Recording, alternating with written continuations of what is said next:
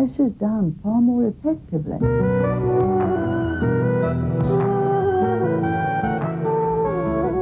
As long as suffering of sentient being remains, I will remain in order to serve.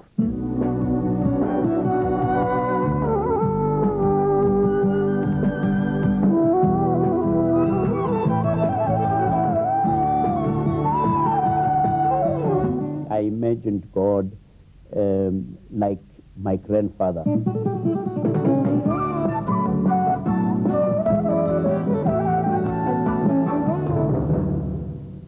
In Conversations today, my guest is British, but he has spent more than 45 years in India, not his home.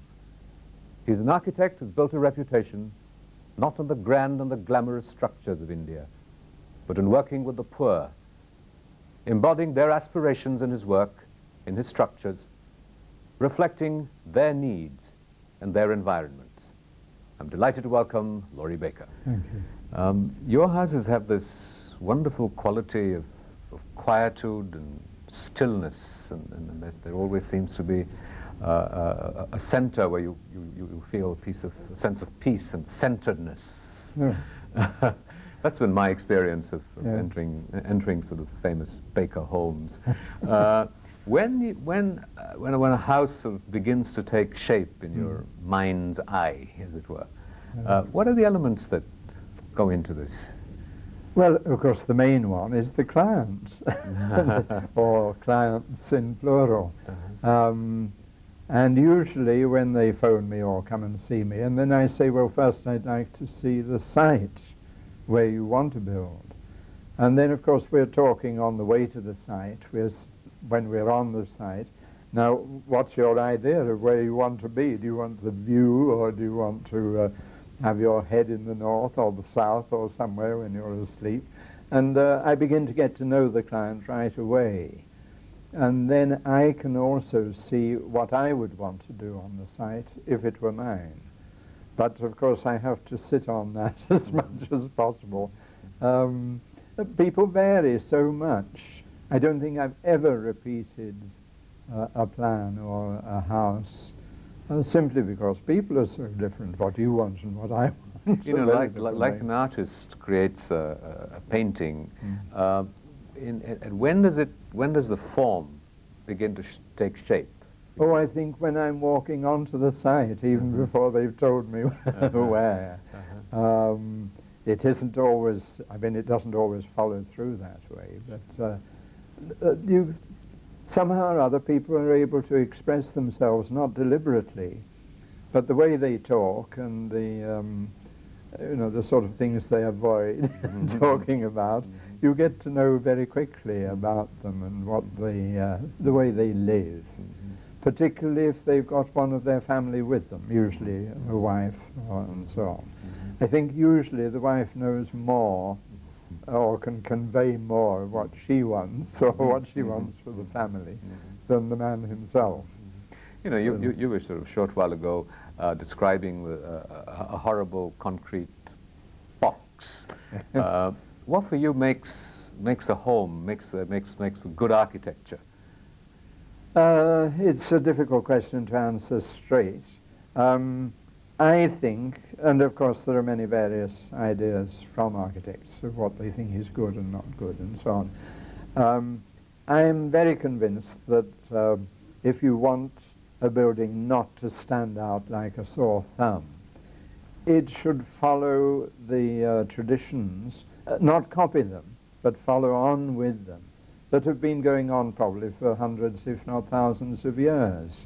And people you have used the materials that are right there on the spot or within an easy distance of a bullock cart and a lorry, um, so that there isn't imported material, imported not from abroad but from another area. And so they, they look as though they belong. And uh, I don't see any, any reason not to go on with that tradition, uh, or put it the other way around.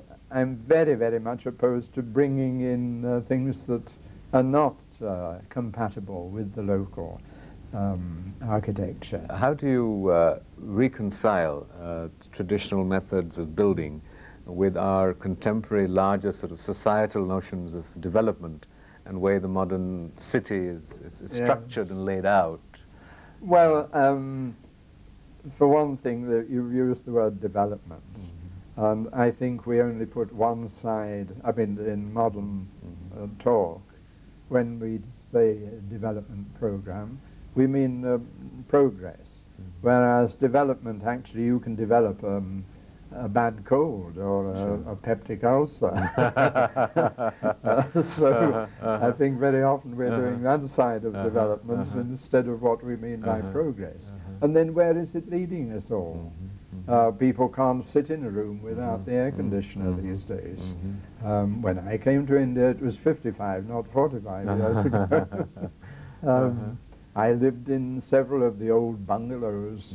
Uh, I mean, I'd stay there from time to time, which were extremely cool, even in the, when the temperature was up, you know, is uh, very high Sure, in UP sure, sure. and so on. And uh, they were, you could be comfortable Mm-hmm. without all this capital D and inverted commas development. well, let's say, you know, because of the, the, the imperatives of modernization, Yes. and, and we are all sort of little cogs in the wheel, Yeah, yeah. uh, and uh, what kind of architecture would, would, would, could I aspire to living in, in, in the heart of urban Delhi uh, that would be feasible and possible, uh, and yet uh, in, in, in Yeah. consonance with many of the aspirations Yeah. uh, that, that, you know, your kind of architecture is, Yeah. that we dream about. Well, you see, from the structural point of view, uh, of course, it, if you wanted um, a five-story building, then it's a different matter.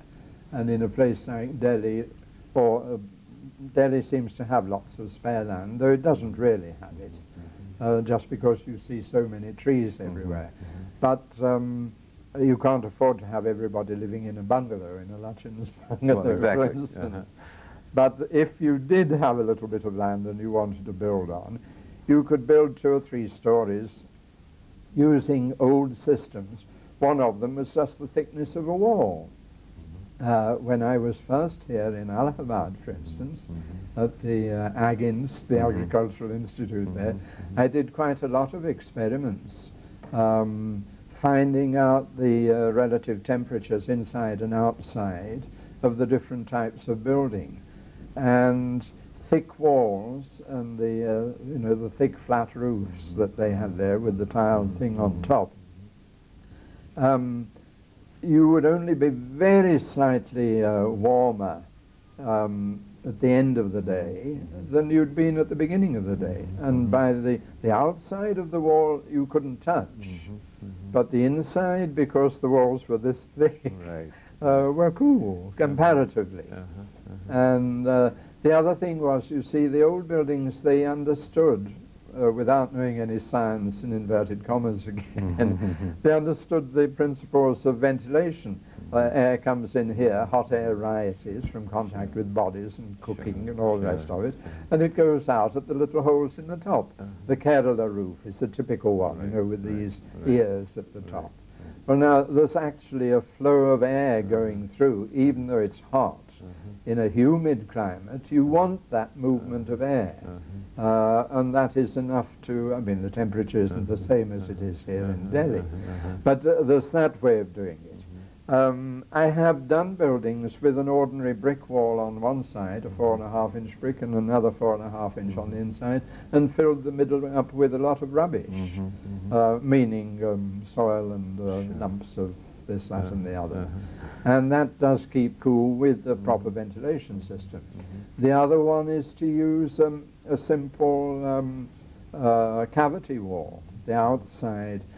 Uh, for instance, at the uh, Center for Development Studies in Trivandrum, I did the computer center where everybody said, oh, it must be air conditioning, air conditioned and so on. But uh, I made inquiries about it, and it mm. doesn't have to be air mm-hmm. conditioned. Mm-hmm. Um, it's better that you have a, a controlled temperature and a regular level temperature.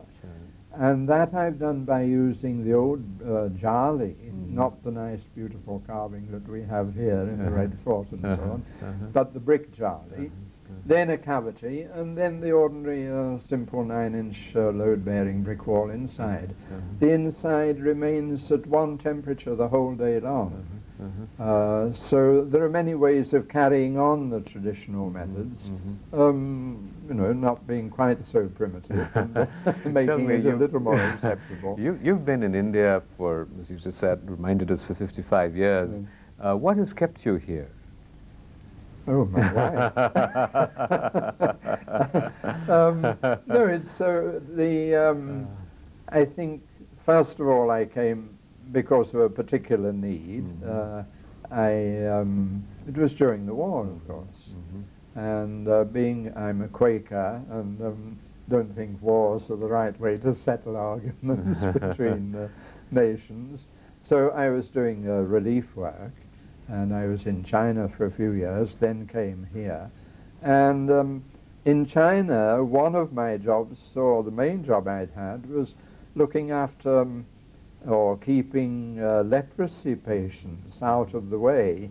Uh, they didn't fit in with refugee camps and all that sort of thing. And um, the treatment of ordinary people mm-hmm. towards uh, mm-hmm. people mm-hmm. with leprosy was not very kind and nice. So I'd got mixed up with this work. Then when I came back through India, I uh, waiting for a, a plane, um, not a plane, a boat.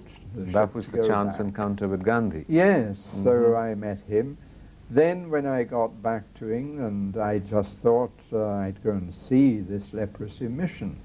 I went to meet them and they were waiting for an, sort of with open hands for an architect or a builder or an engineer to convert all the old uh, homes, refugees, uh, refugees, re- refugees, um, into uh, hospitals where people could actually be treated and where they could get surgery and so on. Mm-hmm. So I came back immediately to mm-hmm. do that specific job. Mm-hmm.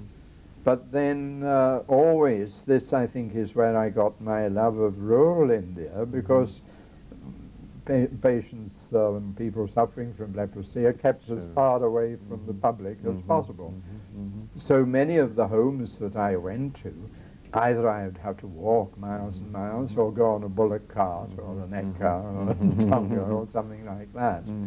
And um, this uh, got me interested in the whole um, uh, structure of India from the uh, the very peculiar, I mean, particular uh, way of living in urban India and a completely different way for the majority of mm-hmm. people. Mm-hmm. Gandhiji had said to me in, uh, when I was in Bombay, he was having the famous Gandhi Jinnah talks at that uh-huh, time, uh-huh. trying to prevent partition. Uh-huh, and he'd said, you mustn't think that this Bombay is India, or typical India. You must go into the, uh, the villages. And he told me, suggested places I should go, because I had three months to wait for a boat. And uh, he, it was quite true, and it's still true, unfortunately. Still, 70% nearly of our population are in very poor rural conditions. Uh, parts of rural India have changed, but uh, there are many that haven't. Much of your work has been in, in, in developing uh, low-cost housing for the poor. Uh, d- do you think this has had something to do with your background as, as a Quaker, the impact of Gandhi, that you have chosen uh, to work in, in, a, in, in I mean, a less glamorous... so. Uh, No, it, it's not from the glamorous point of view. It's um, seeing these um, extremes, which I don't think need be. I was, uh, this morning I've been to Hudco around the corner, um, and I was with Hudco for a time on their governing body.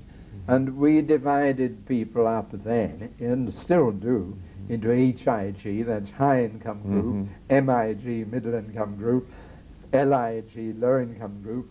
Then we don't like to say the poor, so we call them EWS, economically weaker section. But I uh-huh, um, uh-huh. was always bringing up the subject very uncomfortably for others. What about the NIGs, the no income group? Um, it was argued that there was no such thing. Everybody can and uh, should. And- but in fact, there are comparatively no income group people. So um, I just didn't want to waste my time, uh, not waste my time, that's the wrong way to put it, to, but to um, spend time on middle class and particularly upper middle class who had the money to employ anybody. Uh, architects who like to do that sort of thing and want to do it. No, obviously it has to be done. But I didn't think I wanted to spend my time in that way.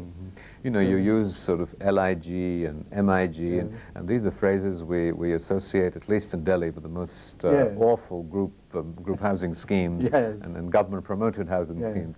Um, have you ever looked at and, and, and worked with, with housing schemes uh, in, in, in large numbers for people? Um, yes, I've tried to. I've done uh, not the very large, but smaller groups.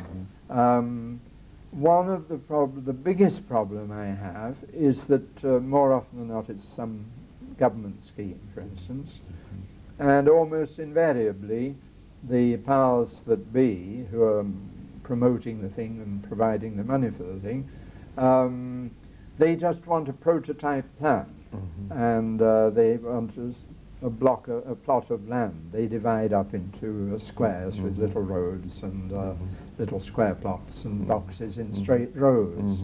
Well, my feeling is that um, uh, rural people, poor people, slum people are just the same as the rest of us. Uh, one family may be a man and his wife and a child. Another family may a, be a man and one or two wives and a grandmother and an unmarried sister and all their children and so on. yeah. So why give them the same? And uh, particularly in slum areas, you find that there are different communities. They've separated themselves up.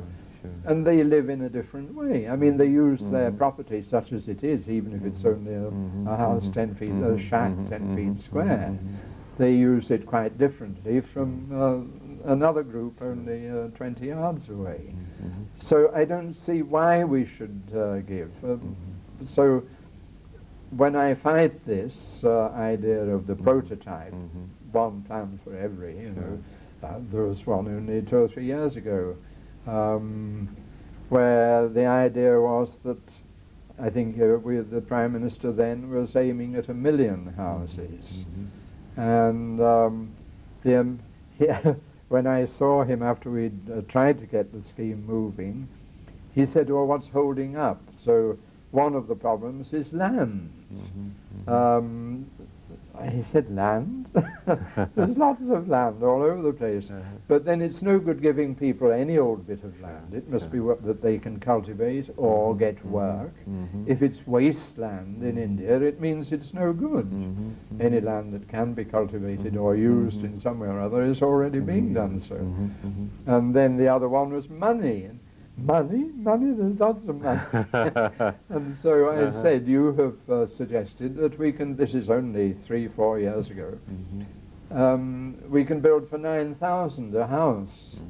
So I said last week, or two weeks ago, my refrigerator expired and I had to get a new one. It only cost me 12,500 uh-huh, and I'm uh-huh. supposed to build houses for 9,000 uh-huh. instead of 12,000 uh, for a fridge. So it just uh, isn't reasonable. And why give everybody 9,000 if there are 10 people in one family and two in another? Surely that should be somehow or other balanced. But that nine- 9,000 is, is, is fairly close to uh, an almost legendary figure of, of 10,000 that you built uh, amongst your, your early houses for, for the poor. Oh yes, ah, but then you see, 20 years ago, 10,000 now would be, uh, well, 5 lakhs or something like that. No, it, I mean, uh, I think the first houses, two houses I built for the Archbishop in, um, not for him to live in, but uh, in Trivandrum, one cost 3,500. And uh, he brought the chief engineer and the chief secretary Uh-huh. to see these house, this house. And the chief engineer said, how much? I said, uh, 3,500. And um, the Archbishop has kept the accounts and paid for it. And then he said, and how many square feet? And I've forgotten what it was. Uh-huh. He said our service charges alone would cost that. and uh, then a whole group of people, a committee, came along and they said this is too good for the poor. Uh-huh. So then I did another house next to it for 2,500. But Uh-huh. um, again, um, of course, that, uh, Sure. as I say, that was Sure. when, not before 1970, 1967. Well, to get back to this, this, Yes. this question of what, what has attracted you and, and, and, well, kept you in India? uh, This, that's infinite uh, scope. What uh, I then, you know, can't stop. I'm 82, but uh, people say, "Why don't you retire?" But how Uh-huh. can you when there's all this sort of uh, Uh-huh. uh, thing going on? Uh-huh. Uh, uh, but I do build, as you know, for um, uh, top dogs, uh, for instance. Sure. Um, a very good example, the man who was the um, uh, senior most man, the head of the ISRO or Mhm, VSSC mhm, at uh, mhm, mhm, Trivandrum, the mhm, space mhm. rocket station. Uh, he asked me to build his house. But he wanted it using all these uh, cost-reducing techniques and avoiding uh, Sure. excessive energy-intensive materials and so on. Now, and I did it quite willingly because I knew that if he did it, other people, if you have Sure. somebody up at the top, Sure. other people. I don't think I've hardly ever been without people from VSSC. Of course, Sure. they've got five, six thousand uh, workers Sure. there, Sure. um, coming right from drivers, peons, Mhm. up to the top scientists. Mhm. So it's well worth it going for the top dog first. the same with Dr. K.N. Raj, Uh-huh, the, uh, sure, who started sure. the um, Centre for Development Sure, Studies. Sure. I think now all, nearly all the young men, uh, the people who were young men when we started in uh, 1970, now they've acquired land immediately in, around the centre, and I built houses. All of them have come to me for houses. You know, the proverbial relationship between architect and client Yes. is, is, is a tumultuous one, and, Mm. and, and usually you have a, a dissatisfied, frustrated client tearing his hair out. Uh, how have you managed to keep your relationship different? Well, for one thing, I choose my clients. I mean, if, if I know he's a hair tatter, Uh-huh, uh-huh. um, then I think I'd say I think you'd better go to uh, somebody else. Uh-huh, know, with uh-huh. I've only been let down two or three times, Uh-huh. only, uh, where people have come and said, "Please, Mr. Baker, we want your sort of building," and so on. Uh-huh. And um, one of the things I don't do, uh, or I should put it the other way, this, my uh, main system is to say what is it you actually need, Mhm, mhm. and then uh, if I can give them that for the and how much money have you got? if I can do that, and uh, are we missing out anything that you really want? Uh-huh, So um, uh, when they say, "What do you mean need?" and uh, there's the space and how much you uh-huh, use for a bedroom and uh, uh-huh, how uh-huh, people uh-huh. use a bedroom, whether they Right. just go in and sleep and come out Right, again, right. or whether they do their typing and Right, their knitting and uh-huh. their ironing and all the rest of it. You know, people say that they want their heads facing north and, Yes. and what have you. Um, do you, is, does Vastu have any sort of bearing and significance to your work? It's I've never um, um, found I've never been able to um, what's the word accept it wholly. I think a lot of these traditions, not only Vastu but others, uh, have um, a, uh, a reason behind them. But um, of course, more and more, particularly in your in urban areas, it's extremely difficult to uh, follow it. If you must have your entrance in the southwest Right. or east or Right. whatever it is, Right. And the road is over on the north Uh-huh. northwest, Uh-huh. uh, what do you do about Uh-huh. it? Do you have a Uh-huh. tunnel underground and come Uh-huh. up on the other Uh-huh. side? So it's very difficult to follow, Uh-huh. and not many people um, in the present uh, Sure. stage Uh-huh. uh, are particularly interested. But again, uh, one of the top dogs who I've mentioned, it was rather amusing when I was doing their house.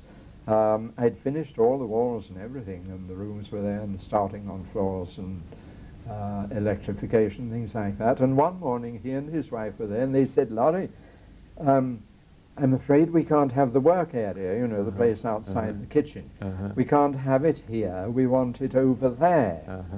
And I said, but uh, how are you going to get there in the, during the rains? Uh-huh, This is uh-huh, Kerala uh-huh, with heavy uh-huh. driving rain and so on. Uh-huh, Uh, Anyway, we can't have it here, we want it over there. uh-huh, and I tried to reason with them, but uh, you know, it would be very inconvenient. And when you want to do this, brum, Sure, brum, sure. and so on, and then bring it all the way back. And at last, the wife said, "This is from our, the, one of the top scientists in the Uh-huh. country." Um, his wife said, "I'm sorry, Laurie, but you have to take it from me. The grinding stone." Cannot look at the fireplace. so uh-huh. I thought this was a, a rather extraordinary, and the poor scientist didn't know where to put, put himself. But uh, probably there's a good reason for it. If you've got a you know a pot of uh, boiling oil for Right. making puris or something, Uh-huh. and there's water nearby, and Right. some water gets in, the whole Right, thing goes right, up in right, flame. Right, right. So uh, there must be reasons for Uh-huh, this, uh-huh. quite apart from the uh, the mystical side of it. And, uh, you know, 50, 55 years of, of sort of, of, of being in India and, and, and, and watching it change and, and in inverted commas develop, uh, and it's the 50th year of India's independence. Uh, how do you feel? Do, do you despair at the way India has evolved? Do you, do you feel good about it? Oh, there's plenty of good about it, um, and there is a certain amount of development, but I still think the emphasis is at the wrong end. Uh, to go back to the HIGs, far too much for HIGs and very, very little for NIGs. Um, the other thing is this, um, it's not only the cost that I'm concerned about, it's this whole question of energy, um, meaning fuel. And almost all the things we use in the modern world are in some way or other energy intensive, all our vehicles. Things like steel. We've got um, mountains, endless quantities of iron ore. But to convert that into quality steel, we haven't got the energy. 82 years young. What do you look? What do you look for for the rest of your life? I was going to say another 82 years. Well, Um, good luck and thank you very much. It has been a privilege having you on this program. Thank you.